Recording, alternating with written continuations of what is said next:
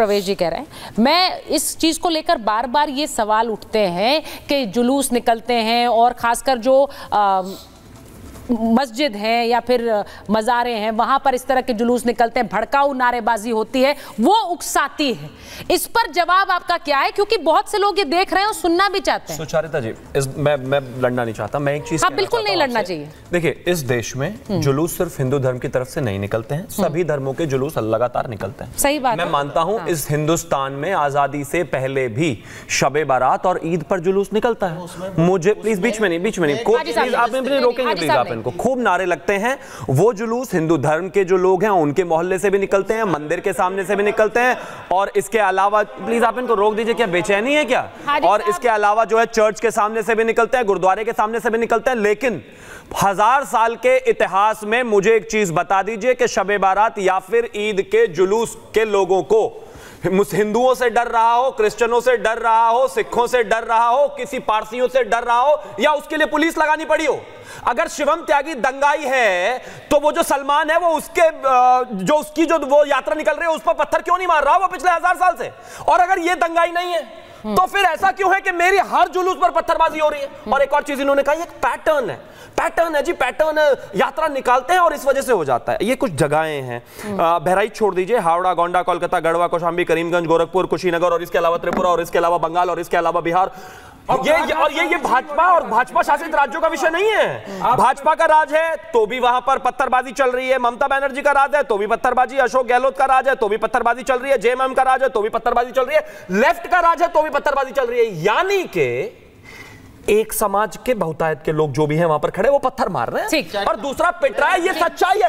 ये है पैटर्न और ये है प्रॉब्लम एक एक बारी से आएँगे। नहीं हाजी साहब बारी बारी से आएँगे। प्लीज़ एक मिनट मुमताज़ जी उन्होंने एक सवाल पूछा है और वो ये कह रहे हैं क्योंकि आज पूरा देश इस बात को देख रहा है कि एक व्यक्ति को पूरी तरह से तड़पा कर मारा गया। वो व्यक्ति जो अपना त्योहार मना रहा था जो दुर्गा विसर्जन के लिए निकला था। सवाल उनका यह है कि हर जगह जब हिंदू अपनी यात्रा निकालता है या फिर जुलूस निकालता है चाहे वो नवरात्र हो चाहे वो दुर्गा पूजा हो तभी ये क्यों होता है? देखिए एक तो एक तो ये कि हाँ। साजिशें की जा रही हैं बाकायदा। अच्छा। दूसरी चीज़ ये कि एक मिनट एक मिनट अच्छा, अच्छा, शिवम त्यागी अभी हम आपके बीच में नहीं बोले नहीं नहीं अरे नहीं रुक जाइए मान लूँगा रुक जाइए आप जवाब दीजिएगा मैं लड़ूँगा नहीं अरे ना मैं आपके बीच में बोलूँगा अच्छा मुझे एक काम करिए मुझे ना साजिश के तहत आप यहाँ खड़े खड़े 35 गोली लगा के करंट मार के नाखून उखाड़ के मार दीजिए कब ये साजिश से कोई लोग मरते हैं क्या अरे पैंतीस गोली चलाई होगी जब तो कोई मरा है भाई मैं ठीक है, बता- करंट लगाया होगा जब तो कोई मरा है नाखून उखाड़े तभी तो उखड़े होंगे प्रवक्ता हूँ साजिश क्या होती है भाई प्रवक्ता। हूँ मैं इसलिए हैं तो क्या करें मैं बता रहा हूँ सवाल पूछ रहा है सवाल पूछ रहा है हाँ, हाँ, अच्छा बोलने दीजिए लोगों के नाखून उखाड़ रहे हैं यहाँ पे मुझे बता रहा हूँ। हाँ। मत बताइए कुछ भी आप अच्छा, जवाब ठीक है, ठीक है। जवाब, जवाब कैसे उखाड़े नाखून इसलिए उखाड़ा क्योंकि पुलिस वहाँ पे अच्छा, तो मूक दर्शक बनी हुई थी। थी पुलिस उखाड़ रही थी। क्यों नहीं गई पुलिस? मतलब क्यों नहीं गई बचाने उस बेचारे को? क्यों चाहिए उस बेचारे को पुलिस बचाने क्यों नहीं गई? तो गई। मेरा सवाल है आपसे। अच्छा, सवाल आप ये बताइए वो लड़का उखाड़ जाता है? आप कह रहे हैं, आप ये कह रहे हैं कि तो तो अच्छा तो हो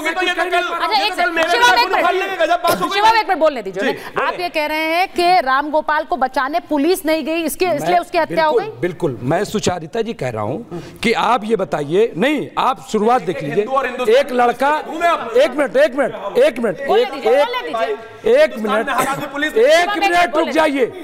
हाँ। आपकी सरकार है आप जवाब दे सुन लीजिए। एक कोई एग्जांपल दीजिए। आप ये बताइए छत पे लड़का चढ़ गया हाँ। किसी वजह से चढ़ा? वहाँ हिलाता रहा। डीजीपी सर को लीजिए। हाँ, हाँ। कानून रेलिंग तक एक एक एक करके बात कानून कार्रवाई तक गिर करेगा। मैं क्या कह रहा हूँ? रेलिंग तक गिरी। ठीक है। उसके बाद और कुछ हुआ? हाँ। वो लड़का पकड़ा गया होगा जैसा कि हुआ।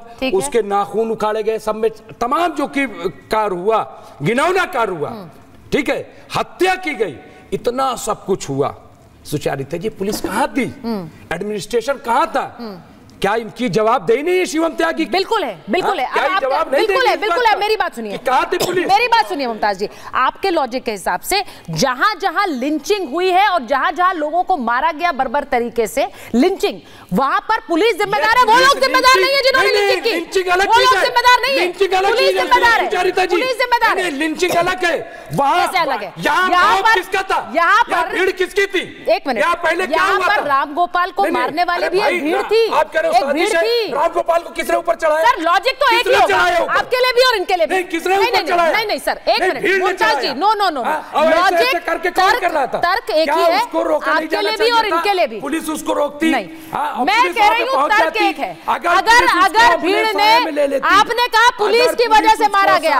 आप उन लोगों को संरक्षित कर रहे हैं जिन्होंने नहीं, मारा? नहीं, नहीं, नहीं। क्योंकि मैं फिर वहाँ पर भी वो संरक्षित करेंगे। वो कहेंगे कि पुलिस की वजह से मारा गया। हमारी वजह से। बेचारे को बचाते। मैं डीजीपी सर के पास जा हूँ। DGP sir. लेकिन इन्होंने नहीं बचाया। डीजीपी सर उस बेचारे पुलिस की फेलियर है। यहाँ पर सवाल उठ रहा है पुलिस का फेलियर है ये सब कुछ हो रहा था पुलिस कहाँ थी? उन्होंने कहा अगर मारा गया क्योंकि मैं तो इसे लिंचिंग कह रही हूँ। इसलिए कह रही हूँ क्योंकि एक व्यक्ति अकेला इतना टॉर्चर दूसरे व्यक्ति को नहीं कर सकता। वहाँ पर भीड़ रही होगी जिन्होंने मिलकर ऐसा हमला किया और ऐसा वहशियाना हमला किया कि नाखून उखाड़ दिए, सर पर हमले कर दिए, गोलियों के छर्रों से वो बेहोश हो गया। इतना कुछ हुआ। सुचरिता जी, ये मॉब लिंचिंग ही है, क्योंकि जो शातिर आपराधिक जहनियत का होता है क्रिमिनल माइंडसेट का होता है, वही इतना वहशीपना दिखा सकता है। हमारे विद्वान फैज साहब किसी को थप्पड़ मार के देखें, आपका हाथ नहीं उठ सकता है, नहीं उठेगा, लेकिन नाखून खींच लेना क्लास से निकाल लेना करंट लगाना, इसके लिए एक क्रिमिनल माइंडसेट होता है। पुलिस से बच करके इन्होंने अपराध तो कर लिया तो पुलिस का पहला काम था टू प्रिवेंट क्राइम नहीं हो पाया तो इन्वेस्टिगेट क्राइम और इन्वेस्टिगेट करने में पुलिस अपनी ज़िम्मेदारी कंटिन्यूअस है और वो नसीहत नजीर मिलेगी। फिर न कहिएगा कि आपके ऊपर ये जब मैं जब कह रहा हूँ, आप तो मैं मुलजिमान को सबूत करना अपना भला चाहते हो, आत्मसमर्पण कर दें, वरना आप और आपके सपोर्ट सिस्टम को बिल्कुल मिट्टी में मिलने के इंतज़ाम हो जाएगा याद कर ले कि इस आपकी तरह जिन्होंने हरकत की, उनका पहले क्या हुआ और पहले इसके पहले क्या किया गया? अपनी खैरियत चाहते हैं जाके थाने में या न्यायालय में आत्मसमर्पण कर दें। क्योंकि पुलिस के ऊपर आप चैलेंज कर रहे हैं ना तो पुलिस को चैलेंज करना ये छोड़ दीजिए। पुलिस तो आपकी खिदमत के लिए है लेकिन खिदमत वो लीजिए नहीं नहीं मैंने अभी बात बोली। देखिए मुमताज़ जी मैं एक चीज़ नहीं नहीं एक मिनट रुकिए एक मिनट रुकिए। देखिए मैंने अभी मैंने अभी जब हाजी साहब सुनिए एक एक करके बात करेंगे। अब मैं बोल रही हूँ आप सुनिए जरा। हाजी साहब को भी मैंने अभी यही बात बोली जब वो अब लिस्ट दिखा रहे थे। मैंने कहा ये आरोपियों की लिस्ट है जिन्होंने हत्या की है। अब ये लिस्ट में इन आरोपियों के नाम है। वहाँ पर जब जब जब अमिताभ यश निकले सुनिए मेरी बात।